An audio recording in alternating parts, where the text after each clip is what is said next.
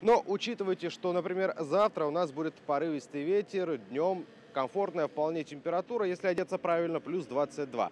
В воскресенье точно так же без осадков, ветер сильно не ожидается и на градус холоднее, плюс 21. А вот в понедельник у нас с вами дождь и похолодает до 17. Всем хорошей погоды. Пока.